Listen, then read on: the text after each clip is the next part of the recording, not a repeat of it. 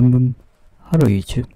どうもすです。今画面に表示しているのは ASUS が海外の YouTube チャンネルの方に掲載しているこれから発表する予定の新型スマホのテイザー動画の一部になります。テイザー動画というのはこれから発表する予定の商品の情報を少しだけ公開した動画となります。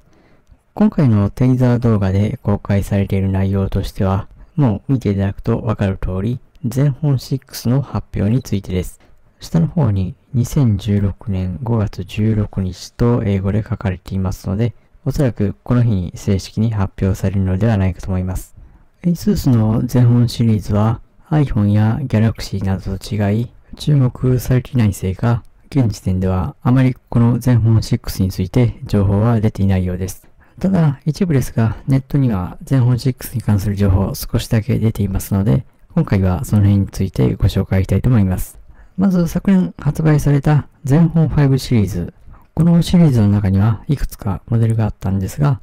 例えば通常版の全本5に上位モデルの全本 5Z などがありました。昨年の全本5の方は600万台のスナップドラゴンを搭載し、全本 5Z が800万台を搭載し、基本的に CPU のスペックが違う以外はデザインなども2つとも共通でした。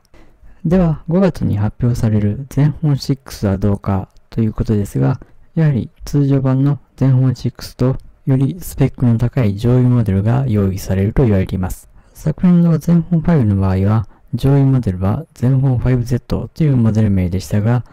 今年発表される予定の全本6については、上位モデルの名称は全本6 Pro になるのではと言われています。スペックに関してはまだまだ情報は出ていませんが、一部噂によると、全本6の方は700番台のスナップドラゴンを CPU に搭載し、全本6 Pro の方はスナップドラゴン855になるのではとのことです。そして全本6最大の特徴が背面のカメラになります。この全本6では背面のカメラがトリプルレンズになると言われています。そしてレンズの配置方法としては、春に国内でも発売されたファーウェイの P10T Pro と同じように縦に3つのレンズを並べる形になるとのことです。まだまだ情報が少ないので、実際に5月に発表される全本6がどうなるかというところは何とも言えないところですが、少なくとも上位モデルの全本6 Pro の CPU がスナップドラゴン855になり、トリプルレンズを搭載するというところは、ここ最近のトレンドからしても信憑性は高いのかもしれません。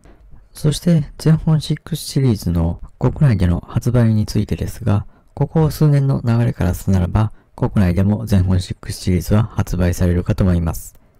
発売日については、海外で5月に発表されるということは、早ければ6月にも国内で発売されるのではないかと思います。今後も全本6に関して何か新しい情報がありましたら別の動画でご紹介したいと思います。なお、現在 Amazon で販売されている全本 5Z 販売ページのリンクについては動画の概要欄の方に貼っておきます。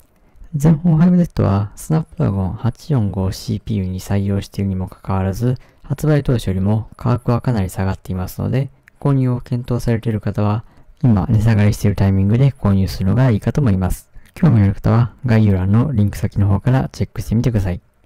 今回は以上です。グッドボタンとチャンネル登録よろしくお願いします。